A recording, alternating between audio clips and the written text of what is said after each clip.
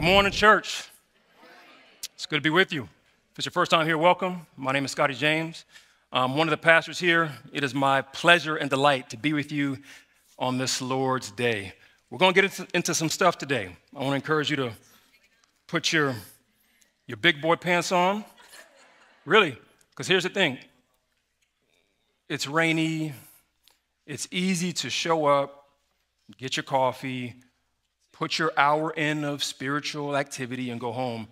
But look, if you apply by faith, if you apply by faith the word that is preached today, it really can change your life. I'm not just talking about people who are new to the faith, I'm specifically talking to the older people in the faith today, those who are mature, seasoned.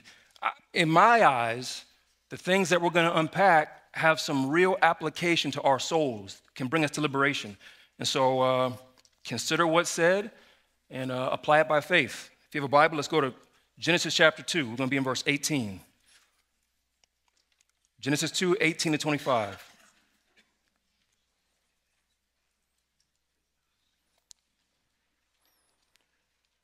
And I will read it. The Lord God said, It is not good for man to be alone. I will make a helper suitable for him. Now the Lord God had formed out of the ground all the wild animals and all the birds in the sky.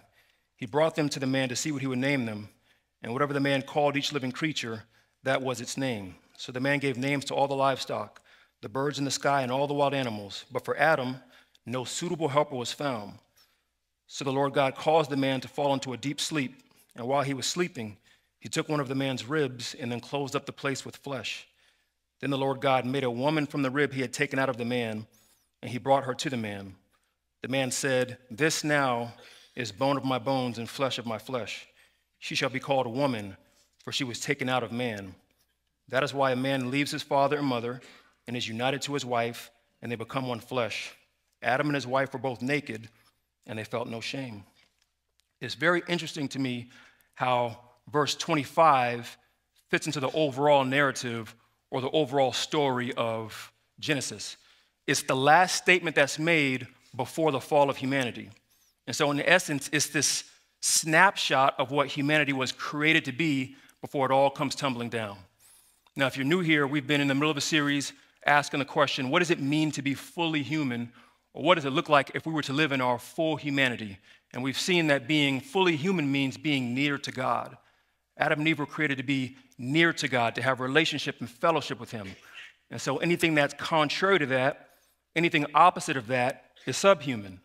To live distant from God, to live isolated from God, to live contrary to God's will is a subhuman experience. We've also looked at how to be fully human means to be in relationship or to be near to other people. God created Adam and Eve for relationship. It's not good that man be alone. And so we were created to connect with people and be in relationship with people, which means anything contrary to that is subhuman. To isolate yourself from human relationships is subhuman to live with no dependence on people whatsoever, to try to be totally self sufficient on your own and not need people, that's actually a subhuman experience. And here in verse 25, we see another layer of what it means to be fully human. To be fully human is to be naked and unashamed. Write that down. To be fully human, to live in the fullness of humanity that God created you to live in, is to be naked and unashamed.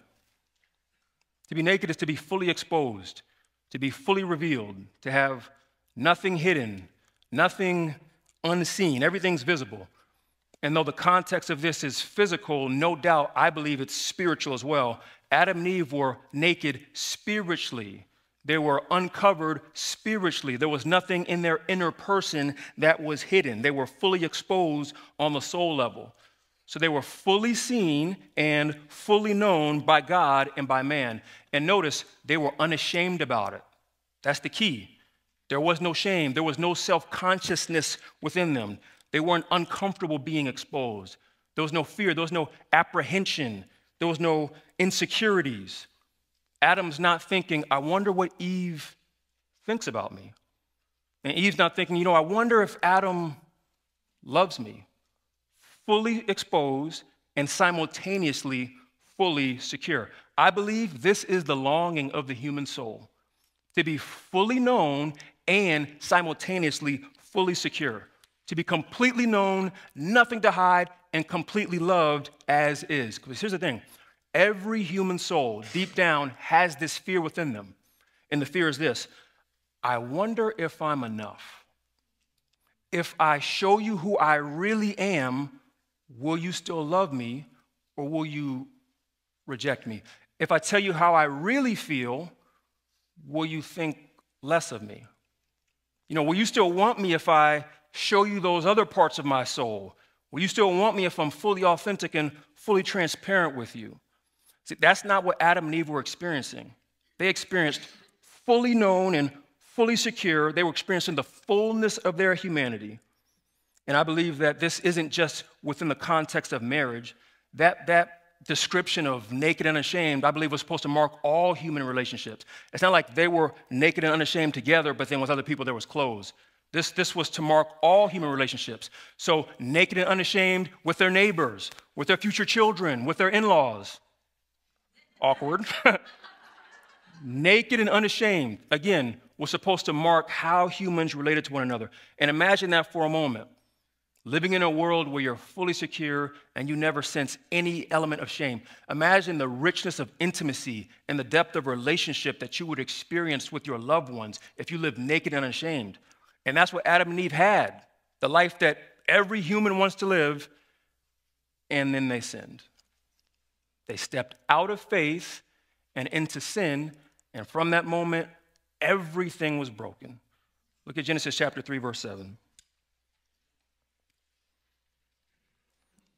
It says, Then the eyes of both of them were open, and they realized they were naked. So they sewed fig leaves together and made coverings for themselves. Look, they went from naked and unashamed to hiding and filled with shame instantly. The intimacy, the transparency that they had originally experienced was lost again when they stepped out of faith and into sin, and now everything is broken. There's a few elements to this brokenness that we all live in that I want you to, to consider with me today. They're not going to be on the screen, but I'd encourage you to write them down. Now, because of the fall, here's how this works. Instead of being fully known and fully secure, now security comes from hiding. In fact, write that down. Now, because of sin, security comes from hiding. We feel shame when we're exposed, and we feel secure when we hide. You may not realize this, but much of your security, I'll bet, comes from hiding. The more exposed I am, not just physically, but emotionally, the more out there I am, the more authentic I am, the more insecure I feel. But the more I cover up, the more I put a mask on, or the more I pretend, the more secure I end up feeling. This drives so much of human behavior. It's why many people lie. I feel safe and secure hiding behind this lie. If I were to expose the truth, I would feel unsafe. It's why many people make excuses. I feel this sense of security and safety hiding behind these excuses. I don't want to step out behind these excuses because I'll be exposed and I, I don't feel safe. It's why many kids bully other kids. There's this safety and security they feel behind this mean persona and this mistreatment of other people. And so they're really hiding behind this, this negativity that they put toward people. Even dressing sexually or scantily clad and acting overly sexual, people think, man, they're confident. They're revealing themselves. They're not covering up, but really it's all insecurity. They're hiding behind their body there's something in them that feels like I don't love who I really am, so I'm gonna, I'm gonna hide behind acting sexual or hide behind dressing in these ways. The human soul finds security in hiding, and here's the next piece connected to it to write down. And hiding comes from shame. Security comes from hiding, and hiding comes from shame.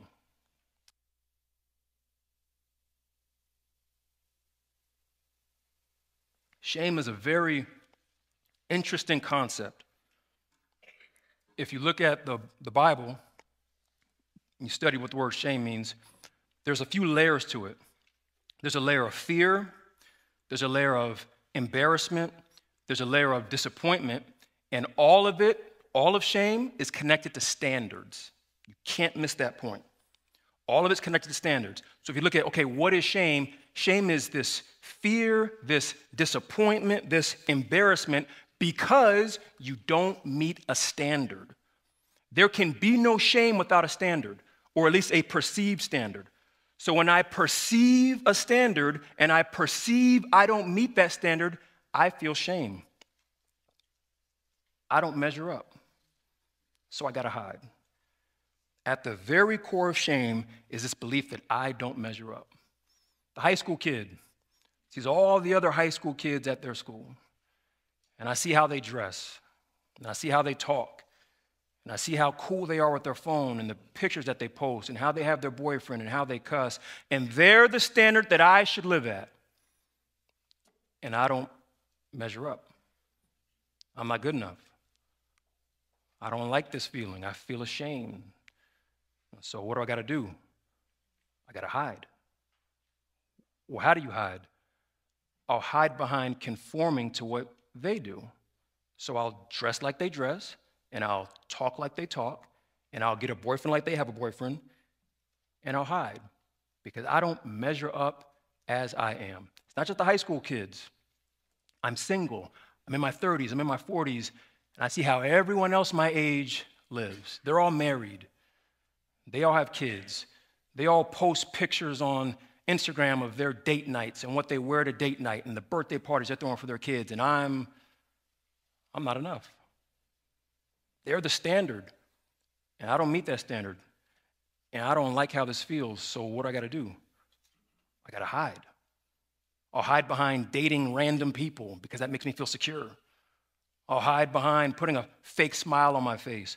And while everyone else lives the standard life, I'll be at home by myself, watching romantic comedies and eating bonbons. I gotta hide. Or I'm in the church, I'm middle aged, and I have this scarlet D on my forehead that I can't get off, and everyone sees it. I'm divorced. I know the standard. I know that you're not supposed to divorce. I know what the Bible says what God has joined together, let no man separate. I know till death do us part. I know what the pastor said. It's supposed to be about holiness, not happiness, but I failed. My marriage ended. And I'm ashamed. So what do I do? Well, I got to hide.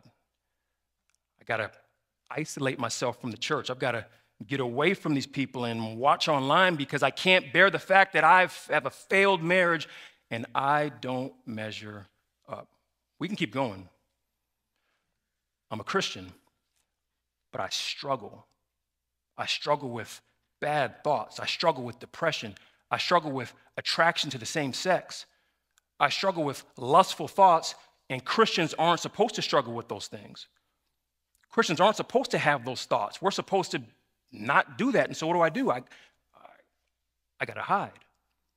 Well, how am I going to hide? I know I'll hide behind surface level relationships. I'll show up five minutes before church so I can give the impression that I'm trying to plug in, but there's not enough time to really get to know me. And then I'll jet out right after service so that no one can really get to know me. And I'll hide behind these relationships that are shallow because deep down, I'm ashamed. There's this standard of what it means to be a believer, and I don't meet that standard. I'm not enough. It's very interesting to me how sin, or excuse me, how, how shame came into the world. As soon as sin came into the world, shame came into the world. And when you understand what sin is, it makes total sense. Anybody know what sin literally is? Okay? Some would say sin means to miss the mark. If you, if you research what sin is, it's any violation of God's law or God's standard. And so sin is literally to not meet God's standard. When Adam and Eve sinned, they violated God's standard. They no longer met his standard, and so they, they, they hid. They felt the shame of not measuring up. And from that moment on, humanity has continued on this process, hiding from shame of not measuring up. And every ounce of this, listen, is subhuman. Every ounce of it. We were not created to live in shame. We were not created to hide and cover up. We were not created to put on fake smiles and run from relationships and conform to things and pretend, all of it is subhuman. God has so much more for us. And so, what are we supposed to do? We deal with the shame.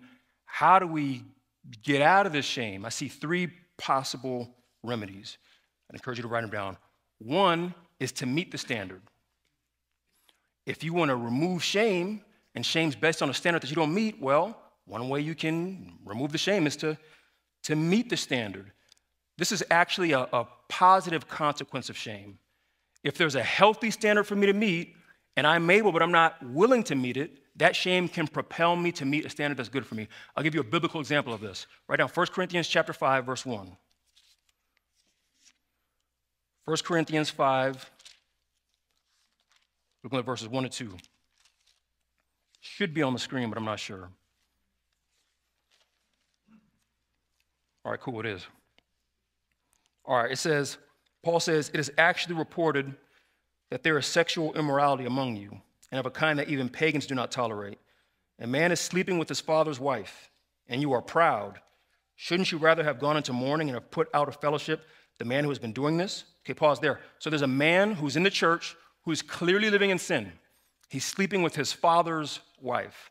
And so, any culture, incest or sexual relationships with family is a, a, a clear no no. And they were proud about it. They were bragging about this. So, Paul writes this letter and he says, What are y'all doing?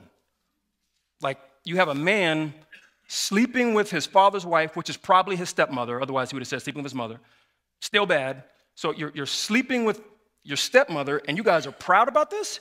You should be ashamed. You should have kicked this guy out of the church and let him feel the consequence of this. Okay, keep reading. Look at verse 9. He says, I wrote to you in my letter not to associate with sexually immoral people, not at all meaning people of this world who are immoral, or the greedy and the swindlers or idolaters. In that case, you'd have to leave the world.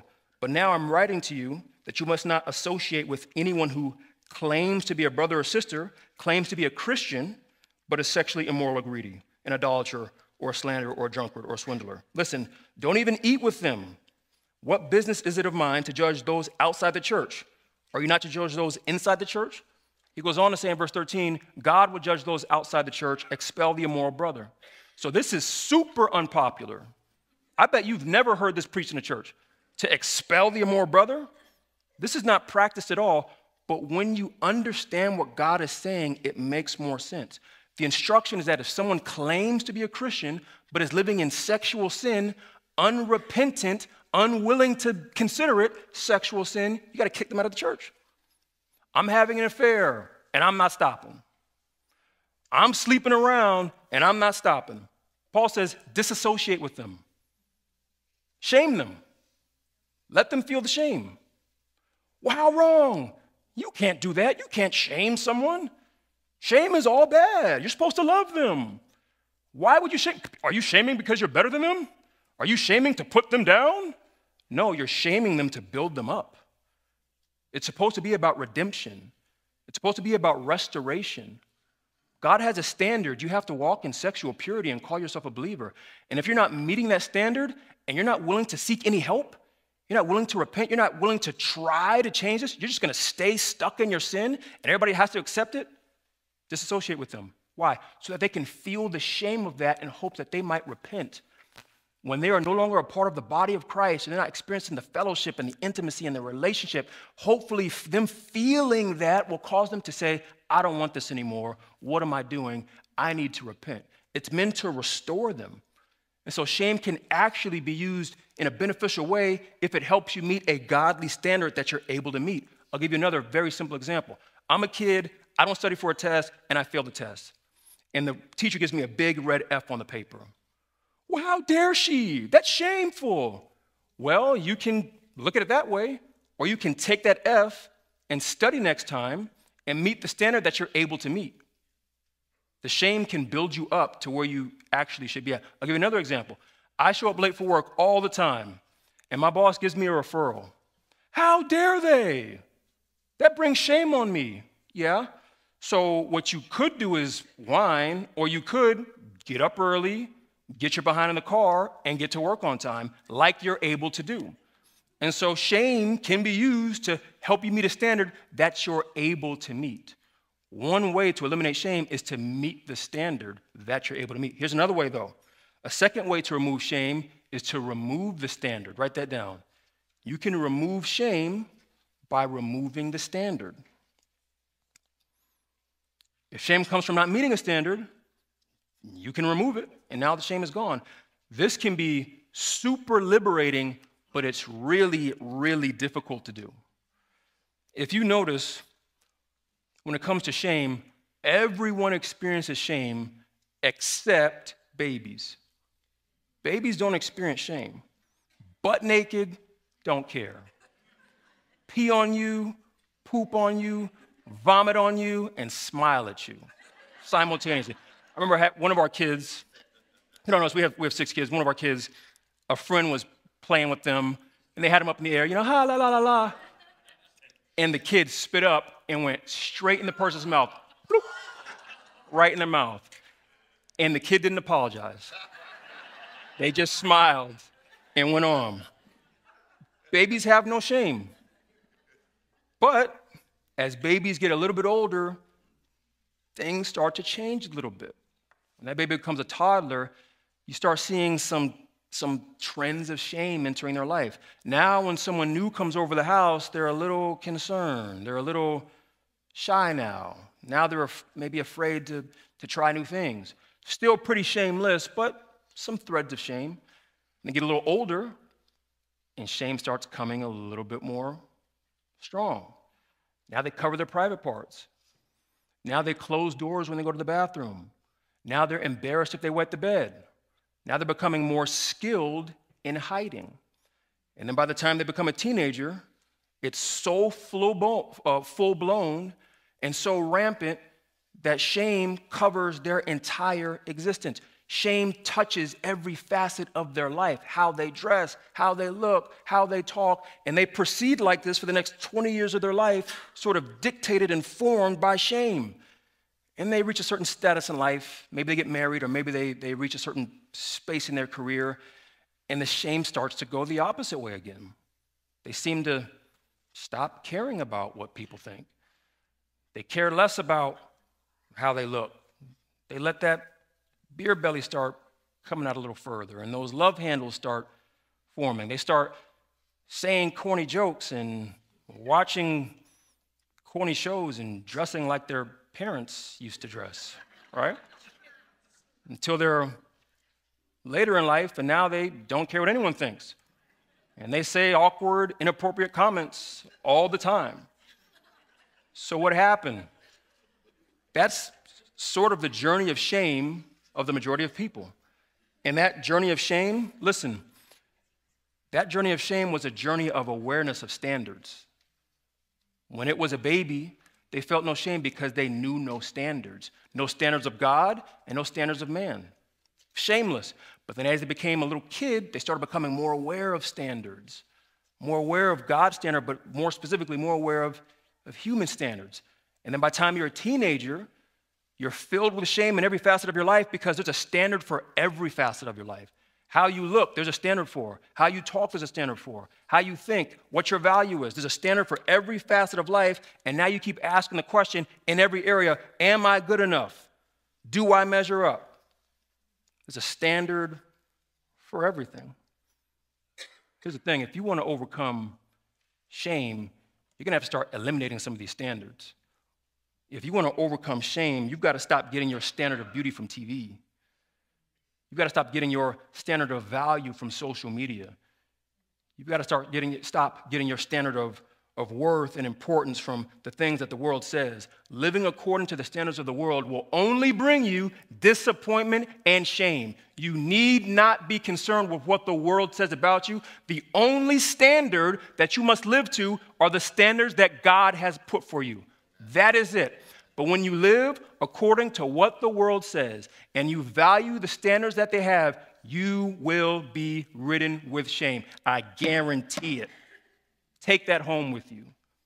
If you want to get rid of all the shame, you've got to start eliminating the unnecessary, unhealthy, man made standards. I wonder, I wonder if there are some of us in here today that need to take this and apply this by faith.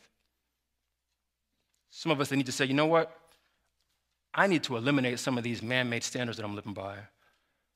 I need to stop getting my value, stop getting my worth from what I see on social media, what I see on TV, what I hear from my coworkers. I wonder if I need to be more focused on what the Word of God says about standards. So you can remove the standards by living up to it, by eliminating it. But what happens if you can't do either? What happens if you can't eliminate the standard and you can't live up to it? That was the case of Adam and Eve. They couldn't just, when they sinned, they violated the standard of God. They couldn't just eliminate that, and they couldn't just live up to it. And so, what do you do in that space? Here's the third way you eliminate shame you eliminate shame by receiving grace despite your inability to meet the standard. Again, how you get rid of shame? You must receive grace. Receive grace despite your inability to meet that standard. You can write down Romans 3:23. Bible says, all have sinned and fall short of the glory of God. You know what that means? All have not made God's standard. No one measures up. Everyone falls short. So what do you do? Jew or Gentile, everyone falls short of God's standard. So what do you do? You receive grace despite your inability. And the beautiful thing is that that is exactly what the gospel is all about receiving grace despite your inability to meet God's standard. Write down Romans chapter 3. Uh, Romans 3, uh, 9 to 12.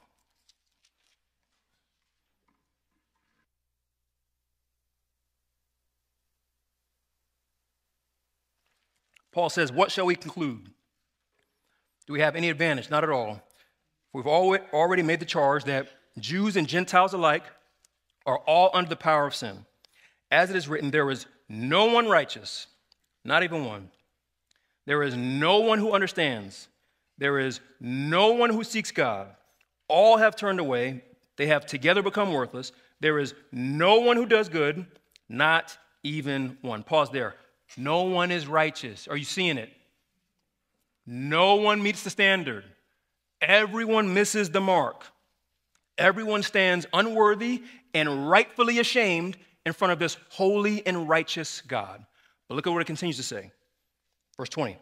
Therefore, because of that, no one will be declared righteous in God's sight by works of the law. Rather, through the law, we become conscious of our sin. He just eliminated option number one. You can't meet the standard on your own. That's, that's not an option to remove your shame. So, what are you supposed to do? We'll keep reading. Verse 21 now. But now, apart from the law, the righteousness of God has been made known, to which the law and the prophets testify. Verse 22 This righteousness is given through faith in Jesus Christ to all who believe. There is no difference between Jew and Gentile, for all have sinned and fall short of the glory of God, and all are justified freely by his grace through the redemption that came by Christ Jesus.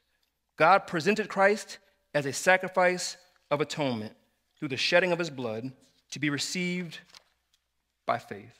Listen, because all sin and because all fall short of reaching God's mark and all are deserving of wrath, God satisfied that penalty by sending his son to pay the price on your behalf. So that if you would believe in him through faith, meaning trust in Him, meaning surrender to Him, meaning to, to, depend on Him for your righteousness, God would graciously forgive your sin, remove your sin, remove your shame, and make you right with Him. You couldn't meet the standard, so God met you in that space and gave you grace. Listen, you are saved, okay?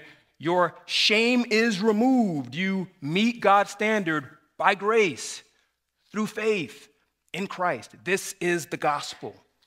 This is the good news. You fell short of God's standard, but instead of moving away from you, God moved towards you and brought grace to you in that space despite your inability and gave you the opportunity to rediscover your humanity, to be naked and ashamed once again in front of this holy and righteous God. I want to challenge you this week. Seriously, ask God this God, please make me aware of how much of my life is ruled by shame. I double dog dare you to ask that question. Seriously. I've been asked that question for three days. It is scary how much I'm realizing, you know what? I'm doing this because of shame. I'm doing this because there's some sort of standard that I'm trying to live up to that I'm I've made up and I've adopted. Ask God how much of your life is being led or ruled by shame, and then what are you supposed to do with that? You got three options. God, I have this shame. Am I supposed to meet a standard? Do I need to start going to work on time? Do I need to start being nicer to someone? Do I need to start studying for my test? Do I need to start doing a better job? That shame you're experiencing might be because you're just not giving the effort that you should be giving. We've got to be able to own that and say, yeah, okay, I got to make some changes. Do you need to step up to a standard? Or, number two, do you need to eliminate a standard? Do I feel bad about myself because I'm living according to worldly standards that social media has given me, or that my secular friends have given me, or that the world has given me? Do I need to stop caring about these things? God, expose this to me. Help me. Help me eliminate the standard. Or number three, do I need to just receive grace despite my inability? Lord, help me know. Have I put my faith in Christ? Have I received the free gift of salvation through faith that only comes through, through, through faith in Christ? I talked to you guys a few weeks ago. I was talking, I won't get too much into it, but I was talking about that drive home. You guys remember? Feeling ashamed. There was a standard that I hadn't lived up to. And in that moment, God, I believe, gave me that reassurance it's okay.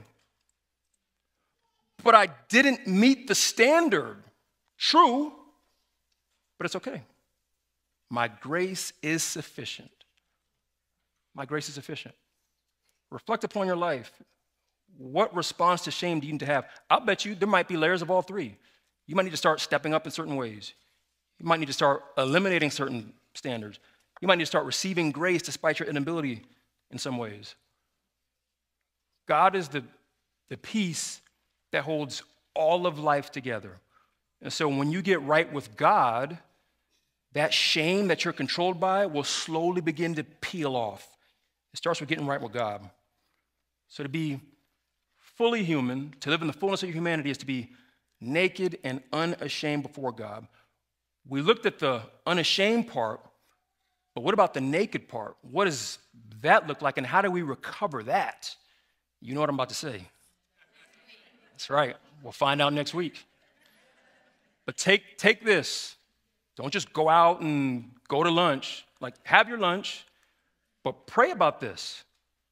Ask, have the courage to ask God to make you aware of how much of shame is ruling your life and then may God deliver us of these things so that we can walk in the fullness of humanity we were created to live in. Amen? All right, let's pray.